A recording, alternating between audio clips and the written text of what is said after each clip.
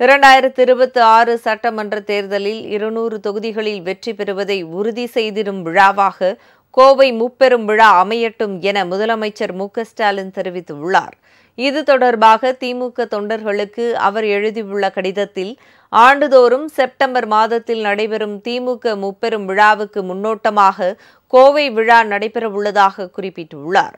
மத்திய அரசில் பங்கேற்கும் வாய்ப்பு இல்லாத போது நாற்பதுக்கு நாற்பது என்ற வெற்றியால் தமிழ்நாட்டிற்கு என்ன லாபம் என எதிர்முகாமில் சிலர் கேட்கின்றனர். தமிழகம் உட்பட இந்தியா கூட்டணி பெற்ற பரவலான வெற்றிதான் அதிகாரத்தில் இருப்பவர்களுக்கான கடிவாளம். இந்திய ஜனநாயகத்தின் பாதுகாப்பு கவசம் என்றும் அவர் கூறியுள்ளார்.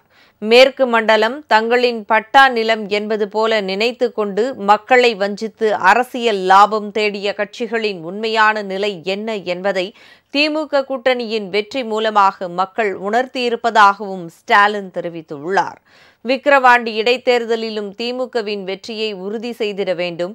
எல்லாவற்றுக்கும் மேலாக நாடாளுமன்ற தேர்தலில் நாற்பது இடங்களிலும் வெற்றி பெற்றதைப் போன்று இரண்டாயிரத்து இருபத்தாறு சட்டமன்ற தேர்தலில் இருநூறு தொகுதிகளில் வெற்றியினை உறுதி செய்திட கோவை முப்பெரும் விழா ஊக்கமாக அமையட்டும் என்றும் கடிதத்தில் ஸ்டாலின் குறிப்பிட்டுள்ளார்.